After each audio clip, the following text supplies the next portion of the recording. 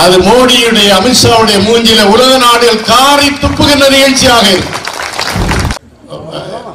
ரோமத்தை ரோமத்தை இல்லை எங்க பார்த்து எங்க மயிரை கூட நீ பிடுங்க முடியாது அதான் அர்த்தம்.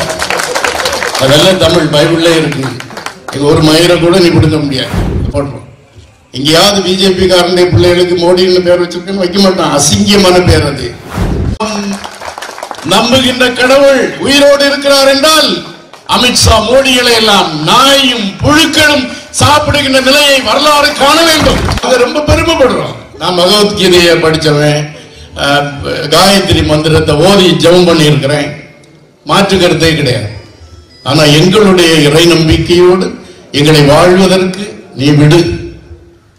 எங்கள் உரிமையை நீ தடுக்க உனக்கு உரிமை இல்லை. அதனால நாங்க வந்து அரசாங்கத்திற்கு எதிரான போராட்டம் அல்ல இது.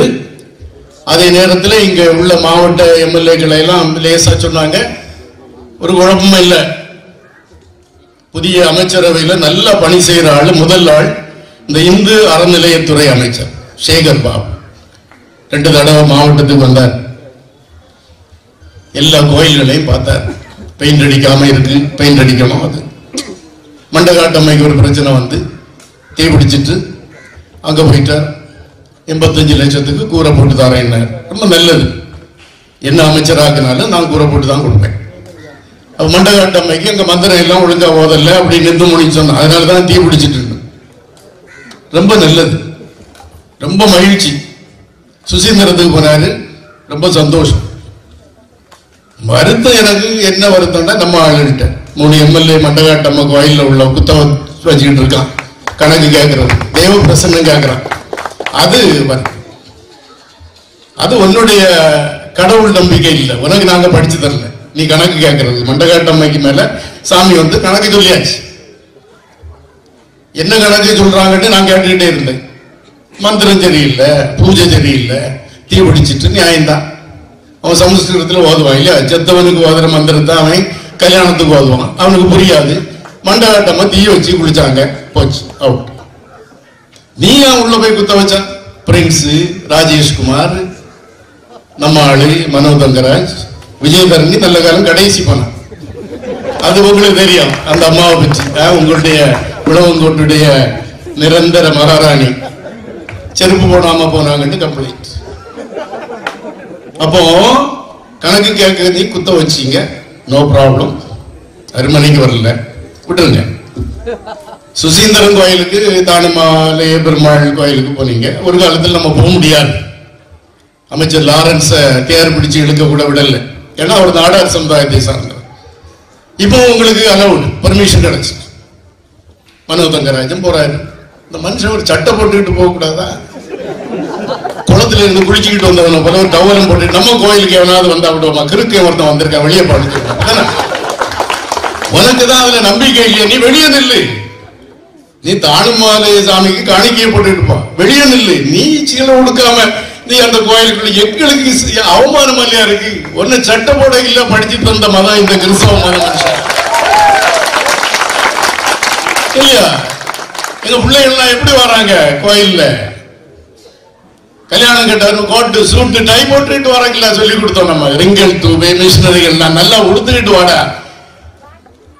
நீ வணங்குற கடவுள் சூப்பர் கடவுள் ஸ்டைலா போகல நீ துணி உடுக்காம போற. நல்ல காலம் வேஷ்டி மட்டமாவது உடுத்துட்டு போற. இது வருத்தம் தான் எனக்கு. என் மந்திரிக்க ஃப்ரெண்ட் வந்தா சொல்லுங்க. நீங்க கையெல்லாம் திமுக நடிக்கிறீங்க காங்கிரஸுக்கு நடிக்கிறீங்க அதெல்லாம் என்ன ப்ராப்ளம் கிடையாது. இது எங்களுக்கு கொஞ்சம் மன வருத்தம். நான் போக மாட்டேன். எனக்கு இந்த கோயில்கள் எங்க குடும்பத்துல உண்டு நான் உள்ள போக மாட்டேன். டொனேஷன் கொடுப்பேன் உள்ள வர மாட்டேன். எனக்கு நம்பிக்கை இல்லை. ஆகவே அமைச்சர்களிடம் இந்த வருத்தம் உண்டு. அடுத்து சிறுபான்மை ஆணையம் பீட்டர் அல்போன்ஸ் ஒரு ஆள் இருக்கிறார் இல்லையா? நல்ல ஒரு கத்தோலிக்க கிறிஸ்தவர். சிறுபான்மை அமைச்சர் ஜிஞ்சி மஸ்தான். சேகர் பாபு வந்த வர தெரியுதா? நீங்க ரெண்டு பேரும் ஏன் வரல? எங்களுக்குடைய பிரச்சனையை கேட்கறதுக்கு. சிறுபான்மை மக்கள் அதிகம் பாதிக்கப்படுகின்ற இந்த மாவட்டத்திலே சிறுபான்மை மக்களுடைய குறைகளை கேட்க சிறுபான்மை ஆணைய தலைவர் எங்கே? சிறுபான்மை அமைச்சர் எங்கே? பதில் சொல். ஸ்டாலின் தான் வாராரு விடியலை தான் தாராரு. ரொம்ப நல்லது. ரிங் டோன்ல எல்லாம் திமுக காரங்க தான் வச்சாங்க. விடியல் எங்கடா எங்களுக்கு கொடுத்தீங்க? அறுபது நாள்ல எங்களை போராட்ட களத்துல கொண்டு விட்டுட்டீங்களே. இல்லையா பதவியேற்று அறுபது நாள்ல. உங்களுக்கு என்ன நாங்க எவ்வளவு உழைச்சோம்? வாட்ஸ்அப்ல எல்லாம் எனக்கு வந்த ஆர்எஸ்எஸ் காரணி கெட்ட வார்த்தை. நான் ஆஸ்பத்திரியில் கிடக்க ஒரு பிஜேபிக்காரன் ஃபோன் பண்ணி சொல்கிறான் ஃபாதர் உங்களுக்கு ரெண்டு கிட்னியும் ஃபெயிலியர் ஆமே அதனால ரெண்டு கிட்னி தரட்டானா உன் கிட்னியை கொண்டு நாய்க்கு போடுறா அப்படின்னு. அந்த அளவு எங்க மேல வெறுப்பு வர காரணம் என்ன? அப்படி எஸ்டிபி சுல்ஃபிகார் அலிக்கெல்லாம் தெரியும். நாங்க அவங்க எம்எல்ஏக்கள் போகாத போக முடியாத வீடு ஊர்களுக்கு நாங்க போனோம். அங்க உள்ள அருட்தந்தைகளை சந்தித்தோம் கடலோர மக்களை சந்தித்தோம். இந்த தடவை ஓட்டு போடுங்க. திமுக வரட்டும் ஆட்சிக்கு நம்முடைய கஷ்டம் எல்லாம் போய்விடும். வேற எதுவும் பார்க்காதுங்க. எம்எல்ஏக்கள் போக முடியல நாங்க போனோம் அதனால எனக்கு நியாயம் இருக்கு நான் சொல்றேன் ஏன் வரல நீங்க? ஏன் பயப்படுறீங்க? கிறிஸ்தவ சிறுபான்மை மக்களுக்காக குரல் கொடுக்க உன்னை தடுத்தது யார்? அதான் சொன்னாங்க குமாரதாஸ் இல்லையே ஆல்பின் இல்லையே. உண்மைதான். நாங்க இருக்கிறோம் கவலைப்படாதீங்க. மிச்சம் நாங்க நாலஞ்சு பேர் இருக்கிறோம். நாங்க ரெடி நாங்களும் ஸ்டான் சாமியை போல ரெடி தான் போறது. எங்களுக்கு குடும்பம் பிள்ளைகள் எல்லாம் ரெண்டாவது தான். கிடையாது அதுல விட்டுட்டு வந்துட்டோம் ஸ்டான் சாமியை போல. ஆனால் இந்த மைனாரிட்டி கமிஷன் மைனாரிட்டி மினிஸ்ட்ரி எல்லாம் ஏன் வரவில்லை? ஐந்து எம்எல்ஏக்களையும் ஆறு பேரையும் உட்கார வச்சு நாங்க துண்டத்தோலையில கருங்கல்ல மீட்டிங் போட்டு நாங்க சொன்னது கிறிஸ்தவ மக்களுடைய உரிமையை நீ பாதுகாப்பாயா? பாதுகாப்போம் ஃபாதர் பட்டுப்படுங்க போடுங்க. சொல்லுங்க.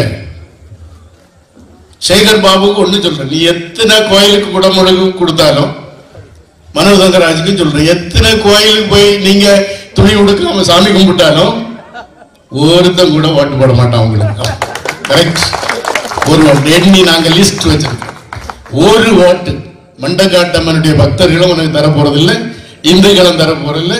நீங்க ஜெயித்தீங்கன்னா கிறிஸ்தவ மக்களும் முஸ்லீம்களும் உங்களுக்கு போட்ட பிச்சை என்பதை மறந்துடாதுங்க.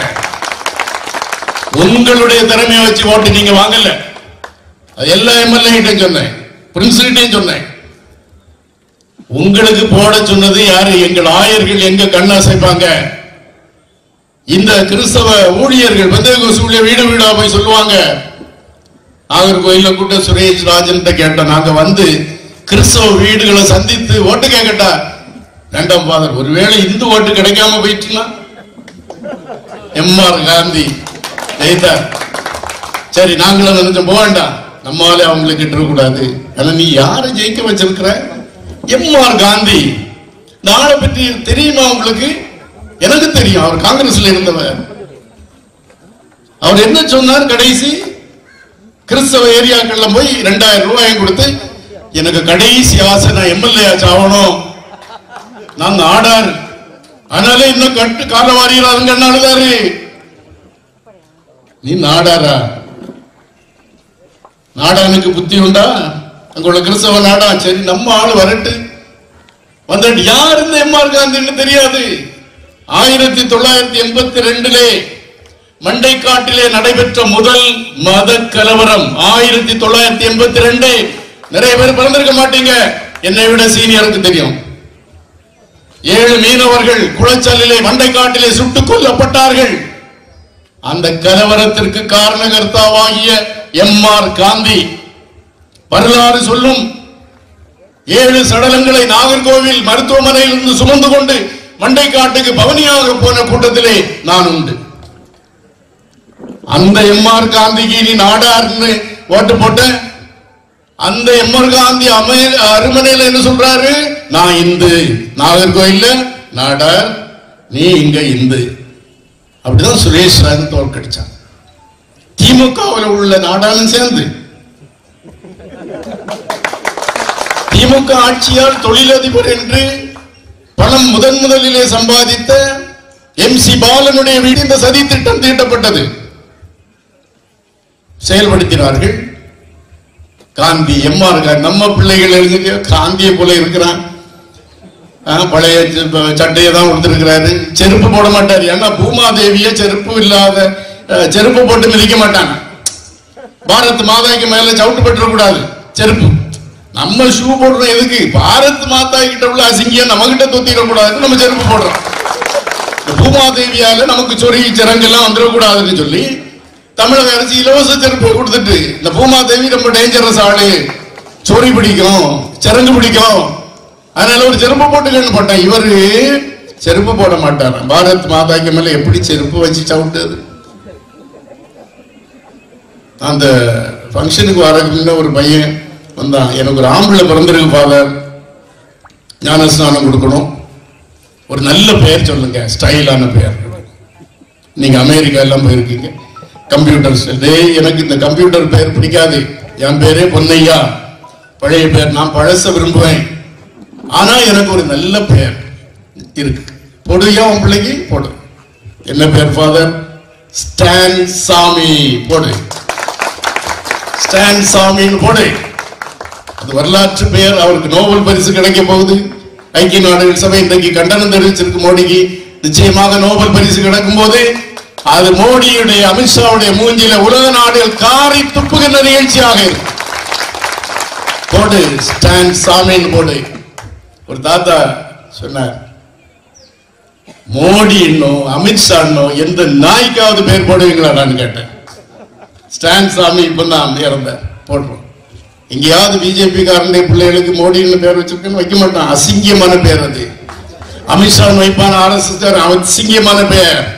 ஸ்டான் சாமி இனி உலகத்திலே பிறக்கின்ற குழந்தைகளுக்கு ஸ்டான் சாமின்னு பேர் வைப்பாங்க. அவர் சாக மாட்டார் வாழ்வார். அப்படிப்பட்ட இறை நம்பிக்கையிலே வளர்கின்ற ஒரு சமூகம் இந்த குமரி மாவட்ட கிறிஸ்தவ இஸ்லாமிய சமூகம். இந்த சமூகத்தை அழிக்கலாம் என்று நினைத்தால் உங்களால் முடியாது. அழகா சொன்னார் இஸ்லாமியர் எங்க முடிய உதிரத்தை கூட. ரோமத்தை ரோமத்தை இல்லை. எங்க பார்த்து எங்க மயிரை கூட நீ பிடுங்க முடியாது. அர்த்தம். அதெல்லாம் தமிழ் பைபிள்ல இருக்கு. இது ஒரு மயிரை கூட நீ பிடுங்க முடியாது. ஃபாதர் இப்படி சொல்றான்னு பழைய பழைய ஆட்கள்லாம் பேசுற நல்ல வார்த்தை தான். இந்த வீடுகள் நாங்க வந்து மெஜாரிட்டி நாற்பத்தி ரெண்டு சதவீதத்துல இருந்தோம். நான் எல்லாம் இப்போ அறுபத்தி ரெண்டு சதவீதம் தாண்டியாச்சு. இன்னும் கொஞ்ச நாள் பண்ண எழுபது சதவீதம். ஆனால் நாங்க வளர்ந்துகிட்டு தான் இருப்போம் நீ தடுக்க முடியாது. அதை வந்து ரொம்ப எச்சரிக்கையாக இந்து சகோதரர்களுக்கு நம்ம சொல்ல விரும்புறோம். அது ஆர்எஸ்எஸ் சரி பிஜேபி காரனாலும் சரி எங்களுக்கு கவலையே கிடையாது. நீ வந்து தடுக்க முடியாது. எங்களுக்கு என்ன கவலை வருத்தம்? இந்த மாவட்டத்தில் இருக்கிற அதிகாரிகள். ஆர்டிஓக்கு தெரிய வேண்டாமா? சொல்லுவாங்க இல்லையா பைபிள்ல. அறிவு வேணும் அதை விட ஞானம் வேணும். நீ ஐஏஎஸ் ஐபிஎஸ்ங்கிறது அறிவு. ஞானம்னா என்ன? பழைய காலத்து மூணாம் கிளாஸ் தாத்தா இருந்த கொடை அடி இப்போ மழை பெய்யும் போல இருக்கு. அது ஞானம். அவர் சேட்டலைட் ஒன்றும் கண்டுபிடிக்கல. அவன் புத்திசாலி தெரியும்.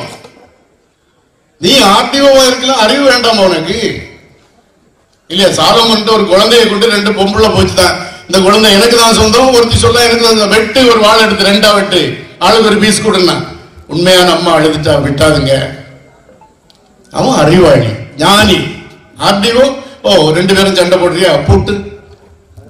நீ நீ அங்க ஜெபம் பண்ணக்கூடாது. அங்க ஜீசஸ் படம் வச்சிருக்கிறியா? பங்கு தந்தையுடைய இல்லத்துல. அதை தார்பாலம் போட்டு போட்டு. என்ன காவல்துறை என்ன அதிகாரி? இதுக்கு முன்னால ஒரு அம்மா இருந்தாங்க ஆர்டிஓ உங்களுக்கு தெரியாது. அது பக்க ஆர்எஸ்எஸ் என்ன கூட ஒரு விசாரணைக்கு கூப்பிட்டாங்க. எனக்கு முடியல. கீழே விழுந்து இந்த பக்கம் எல்லாம் கட் ஸ்டிச்சு போட்டுக்கிட்டு ஓ இருக்கிறான். என் கூட ஒரு கிரிமினல் நிற்கிறான் ஆர்எஸ்எஸ் காரன். விசாரிக்கிறேன் ஓ ஓ நான் இங்கிலீஷில் பதில் சொன்னேன். நான் அமெரிக்காவிலையும் கனடாவிலையும் இங்கிலீஷ் படித்தேன். ஆ, இவா எங்கே படித்தாருன்னு நமக்கு தெரியாது. இரண்டு இங்கிலீஷ் ஊடினாரு அதுக்கு பிறகு சொல்கிறார் நீங்கள் ரொம்ப படித்த ஆள் போல இருக்கு. You seem to be an educated man I say தான் Chennai I am more educated than you. உன்னை விட அதிகம் படித்தவன். ஒரு பழைய ஜிப்பா தான் போட்டு நிற்பேன் தெரியாது நான் யாருன்னு. ஆயிரத்தி தொள்ளாயிரத்தி எண்பத்தி ஒன்பதுல அமெரிக்க ஐக்கிய நாடுகள் சபையில நின்று நான் போட்டோ எடுத்தேன். ரெண்டாயிரத்தி பதினாலு தான் உங்க மோடிக்கு விசாவை கொடுத்தான் அமெரிக்கா பாதிரியார் அந்த பூசாரிகள் மணி அடிக்கிற ஆளுகளை நினைக்காத. படிச்ச பட்டம் பெற்றவர். ஸ்டான் சாமி பேராசிரியர். அறிவியல் ஆய்வாளர். அவர் யாருக்கு? ஜார்க்கண்ட் ஆதிவாசிகளுக்காக வாழ்ந்தவர். அவருடைய காலிலே விலங்குகளை மாட்டி சிறை கைதியை போல நீ மருத்துவமனையில் அடைத்து வைத்தாய். கடவுள் நம்பிக்கை உள்ளவங்க இல்லையா? மோடியுடைய கடைசி காலம் மிக மிக பரிதாபமாக இருக்கும். எழுதி வைத்துக் கொள்ளுங்கள். நாம் நம்புகின்ற கடவுள் உயிரோடு இருக்கிறார் என்றால் அமித்ஷா மோடிகளை எல்லாம் நாயும் புழுக்களும் சாப்பிடுகின்ற நிலையை வரலாறு காண வேண்டும்.